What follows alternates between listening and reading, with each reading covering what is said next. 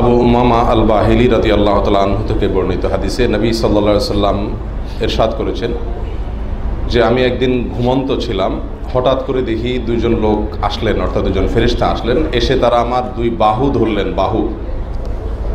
দুইজনে দুই বাহু ধরে আমাকে একটা পাহাড়ের কাছে নিয়ে গেলেন, এরপরে বললেন যে, তুমি পাহাড়ে ওঠো। নবী সাল্লা সাল্লাম ফেরিস্তাদেরকে লক্ষ্য করে বললেন যে, আমি তো পাহাড়ে উঠতে পারব না। এত বড় পাহাড়ে ওঠার মতো শক্তি তো আমার নাই। তখন ফেরিস্তারা বললেন, আমরা তোমাকে সহযোগিতা করছি, তুমি উঠো তখন ফেরিস্তাদের সহযোগিতায় নবী সাল্লা সাল্লাম পাহাড়ের একেবারে চৌড়ায় উঠে গেলেন। চূড়ায় ওঠার পরে তিনি বিকট আকারে মানুষের আর্তনাদ, চিৎকার শুনতে পেলেন।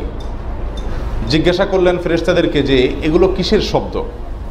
এত ভয়াবহ আওয়াজ শোনা যাচ্ছে মানুষের চিৎকার, আর্তনাদ, কান্নাকাটির আওয়াজ শোনা যাচ্ছে কিসের? তখন ফেরেশতারা নবী সাল্লা সাল্লামকে বললেন এটা হলো জাহান্নামীদের আওয়াজ, জাহান্নামীদের শাস্তি চলছে। সে সাজায় জাহান্নামীরা যে বিকট আওয়াজ করছে, সেটাই আপনি শুনতে পাচ্ছেন। নবী করিম সাল্লাহ আলহিহাসাল্লাম বলেন, তখন একটা পর্যায়ে গিয়ে কিছু লোককে দেখতে পেলাম যে তাদের পাও উপরের দিকে বাধা, মাথা নিচের দিকে। উল্টা দিকে তাদেরকে ঝুলিয়ে রাখা হয়েছে এবং তাদের গাল কাটা। এবং সেখান থেকে রক্ত ঝরঝর করে টপটপ করে পড়ছে। নবী সাল্লা সাল্লাম বলেন, আমি তখন জিজ্ঞাসা করলাম ফেরেস্তাদেরকে যে, এরা কারা? এদের দুরবস্থার কারণ কি? তখন ফেরেস্তাগণ নবী করিম সাল্লা সাল্লামকে বললেন, এরা হলো সেই সমস্ত লোক যারা পৃথিবীতে জীবদ্দশায় রোজা রেখে রোজা ভেঙে ফেলেছে। এই জন্য তাদের এই শাস্তি চলছে। এ হাদিসটি সহি ইবনে খুজাইমা এবং সহি ইবনে হেব্বান এই বিশুদ্ধ সূত্রে বর্ণিত হয়েছে। এ হাদিসের আলোকে আমরা জানতে পারলাম, একজন মানুষ রোজা রেখে যদি ভেঙে ফেলে, তার শাস্তি কত ভয়াবহ এবং কত মারাত্মক?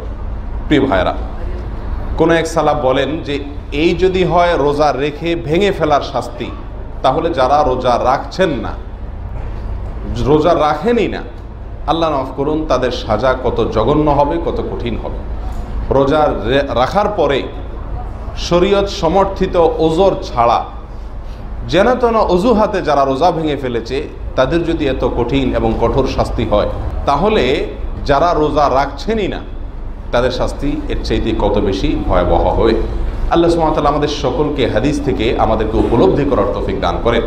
প্রিয় ভাই বন্ধুগণ, আজ আমাদের সমাজের বহু যুবক, যুবতীকে দেখা যায়, সামান্য অজুহাতে, খোঁড়া অজুহাত দিয়ে আমরা অনেকেই রমজানের এই ফরজ রোজা ইসলামের এই গুরুত্বপূর্ণ রোকন আমরা পালন করছি না।